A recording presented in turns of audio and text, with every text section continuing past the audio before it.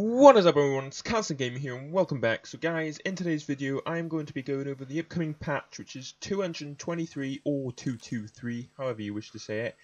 I'm going to be going over the upcoming notes on the list and some of the future dinos that will be added. So, first up on the list is Custom RP Orientated Recipe slash Cooking System including skill based results.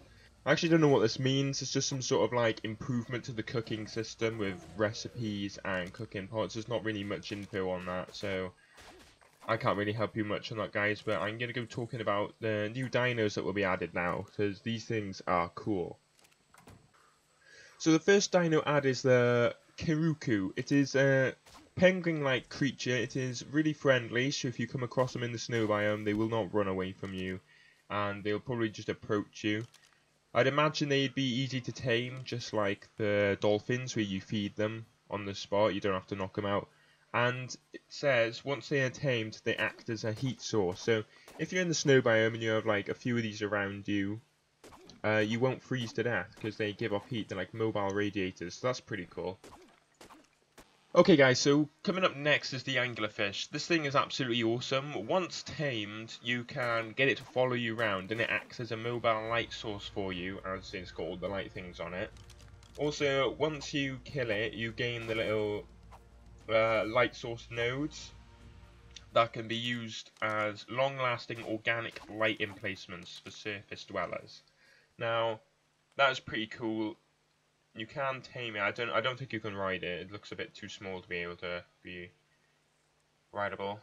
And yeah, it gives off awesome light. So its temperament is aggressive to small, small enemies, or otherwise skittish. So it's going to target coal, piranhas, anything smaller than it, and then it'll run away from anything else like megalodons, plesios, mosasaurs maybe even you. I don't know what its size is, so it might target us, probably will. Okay, so next up is the Creature Fur Pass. Now, I don't actually have any pictures or anything to show you what this is about. Um, but I know if you notice when wolves came out, they have that furry effect around their their chest area, where when the wind's blowing, you can see all the fur uh, brushing around on them. They're basically going to be adding that to all mammals that actually have that, like the mammoth, the saber tooth, uh, I think they might have a little bit, I'm not sure. But, and on the upcoming dinos as well. Uh, next up is the catapult. Now, there isn't anything confirmed about this, there's no pictures, there's no, can't find any dev kit images or anything, so it's going to be roughly, I reckon it's going to be roughly the same size as the ballista. It's obviously going to be a, another way of destroying stone structures, which is going to be pretty cool. I think that it's going to end up having two types of ammo, probably a metal ball and a stone ball. A stone ball will do a lot less damage than the metal one, obviously, and be a lot cheaper. But then the metal one's going to do the most damage and be more efficient at raiding people. Next up is the minigun turret. Now, in my opinion, I think this is like the auto turret, but you get to mount it yourself. If you can, it's going to be pretty cool. Your own mountable auto turret. Um, I think that's pretty much everything about the minigun turret. It's just another auto turret, really. There's not really much new to it. And last but not least, there's the Tyred server admin and tribe admin name tag icons. That's just like some little improvement to tribes and stuff. Something that I don't really care about personally. Alright guys, so that's pretty much it for the upcoming version 223 list. As you see, it says say more notes to come. I'm just covering the ones that are on here now.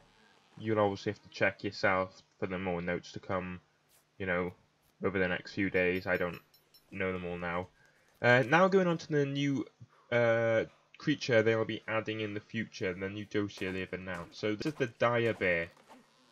The dire bear, the dire wolf, they're all the same. So the dire bear. I'm going to read this uh, little the little domesticated thing for you. So, once tamed, the dire bear is a strong and reliable mount.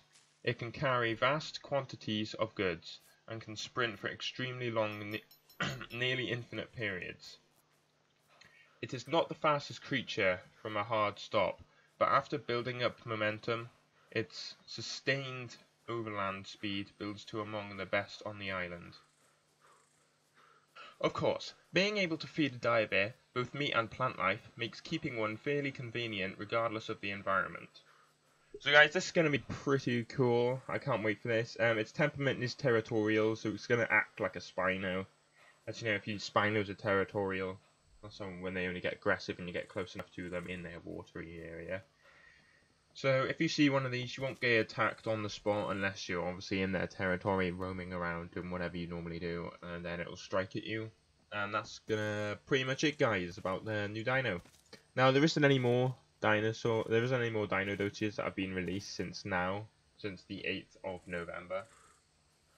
But I'm sure there will be more coming over the next two weeks or next upcoming weeks. I don't know. They they normally release them on a weekly period, one a week guys, that's pretty much it. There's not really much else to talk about. So I just want to thank you all for watching. If you enjoyed this video and if it was any help to you in any way, shape or form, don't forget to leave a like. Just want to quickly mention uh, thanks to everyone for all the support, all the likes, all the comments and all the shares on all my other videos. I really, really do appreciate it. And guys, if you're new to the channel and you want to see some more of this kind of stuff, don't forget to subscribe. Thank you, and I'll see you all in the next video.